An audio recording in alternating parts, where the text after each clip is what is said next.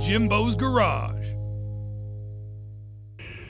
All right, so we're here at the job now and we've got the iron back from the powder coaters. This is the gate right here.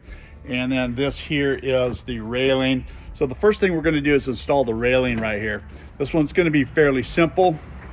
We're just gonna lift it up in place. I've got my two inch spacers uh, right here, and then we're just gonna drill and anchor this uh, into these columns right here. The reason why I'm, I'm doing this railing first is because I wanna establish my height uh, so I can align up the gate uh, that's gonna line up with this. So that's the way I've designed it. So uh, let's go ahead and get this installed. Today's video is sponsored by King Metals. They've got all your fabrication needs in one location. From hinges to hardware, balusters to metal decor, brass to aluminum, and a whole lot more. You name it, they've got it. Check them out today at kingmetals.com. Now let's get back to today's video. All right, so we've established some marks here, some centerline marks on the block right there. I don't know if you can see that or not. Uh, you definitely can't see on this side, the sun's in the way. But uh, uh, we're gonna go ahead and we're gonna get these installed. And the way we're gonna do that, go ahead, Will. Is, of course, sun is riding in the way.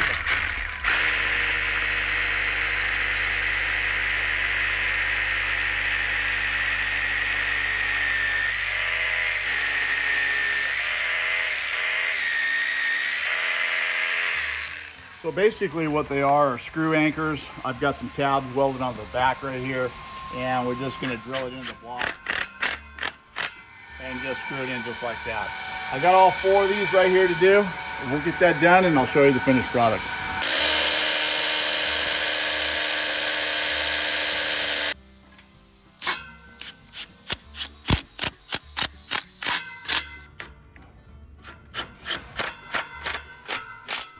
All right, now we got our rail installed here. We've uh, measured over here. We've got we've transferred some marks onto the column, transferred some marks uh, here onto the house, and we know our elevation. So now we can go ahead and mount the post to the garage. We want to do this first. This is where we're going to hang the gate from, and then we'll mount the other uh, we'll mount the other post.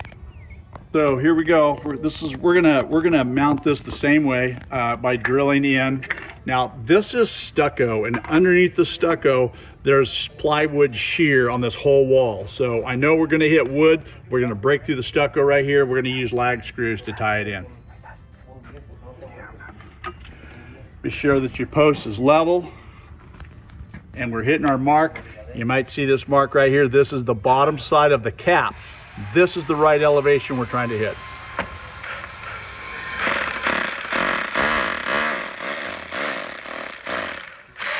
All right, so we've broken through the stucco right there, and now we're onto the wood, and we're using a, a lag screw right here, and we're just gonna run that in. Just like that, we're there. All right, we'll repeat the process here on the center and the bottom, and we'll get that hung.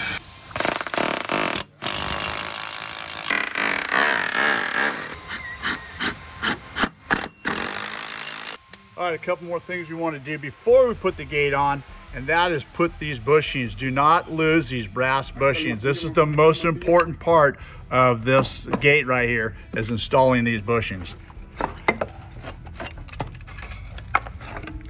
All right, so now we'll be able to drop the gate on and everything, will, hopefully everything lines up.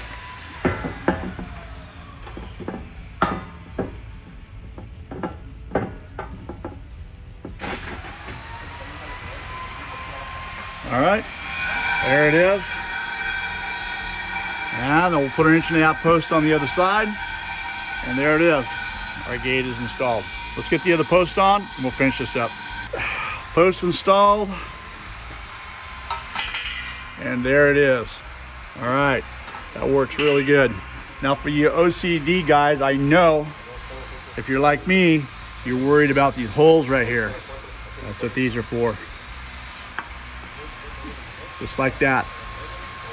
I'll put them in all of them, and that'll finish that off.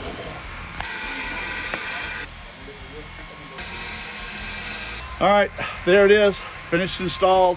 That's the iron work. And then here's the gate. And the gate closes perfectly.